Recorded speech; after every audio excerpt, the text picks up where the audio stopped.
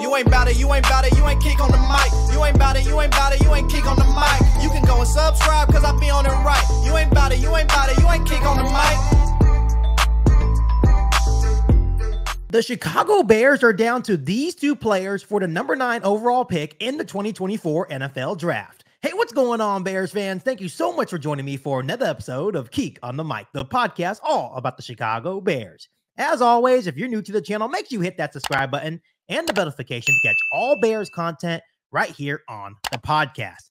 So, Bears fans, we are almost a whole week away from the start of the 2024 NFL draft, and we have some big sources flying around the Chicago Bears right now. According to Tony Pauline, he says sources say if the Bears go pass catcher with the ninth pick, it will come down to Brock Bowers or receiver Rome Odunze.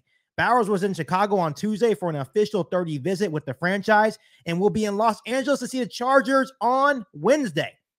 Bears fans, we have been talking a whole lot about what the Chicago Bears will do with the number nine overall pick in the upcoming 2024 NFL draft. And we talked about every single scenario. Will they trade up? Will they trade down? Or will they stay put? But now, according to Tony Pauline, sources are indicating that the Bears are looking to stay put at the number nine overall pick in the 2024 NFL draft and hope to either select Rome Odunze, receiver out of Washington, or tight end Brock Bowers out of Georgia. We have talked a whole lot about Rome Odunze. We already know the type of player that he would be. I think he would be a very special player alongside DJ Moore and Keenan Allen. He would definitely make this Chicago Bears offense more explosive.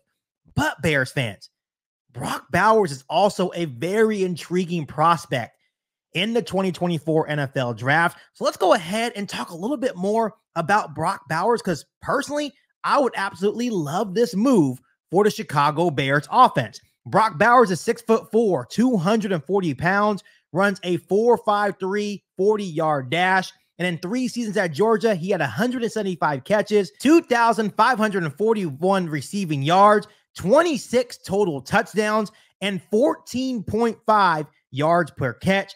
And believe it or not, Bears fans, this pick would actually make a whole lot of sense for the Chicago Bears. Yes, I already know that we already have Cole Kmet and Gerald Everett, but you have to understand Shane Waldron's offense. He loves running the 12 and 13 personnels and tight end sets, right?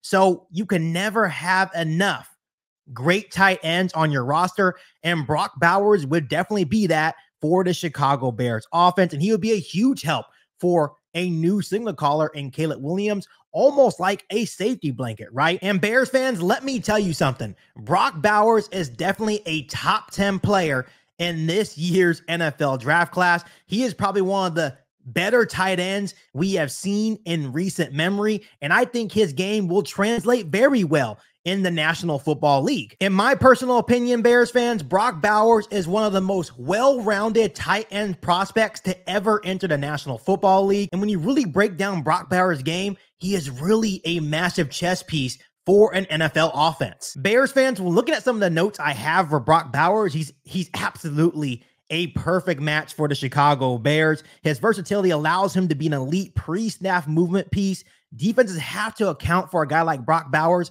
on every single play. He could be an impact player in the slot, out wide, and in line.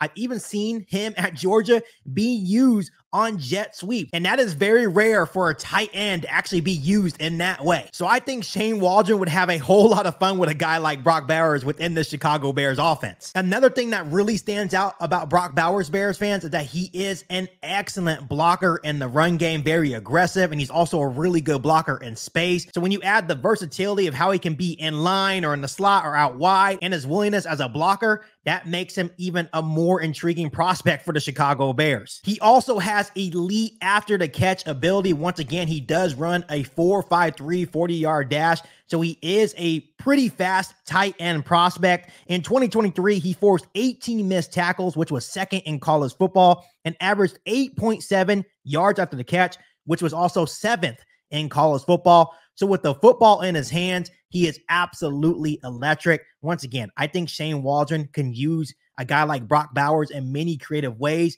and he just it makes it a really intriguing option for the Chicago Bears at number nine overall. Lastly, Bears fans, Brock Bowers has some of the strongest hands you'll see in this year's draft class as a tight end prospect. He is a really sure-handed tight end. And once again, like I mentioned earlier on today's episode of Kicking the Mic, that it would be almost like a safety blanket for Caleb Williams. And that's something that you need for a young quarterback. You need a go-to guy. Obviously, you already have DJ Moore, Keenan Allen, right? Those are both sure-handed big targets for Caleb Williams to throw to. But now add in a guy like Brock Bowers in the mix and the different creative ways you can use him within the Chicago Bears offense.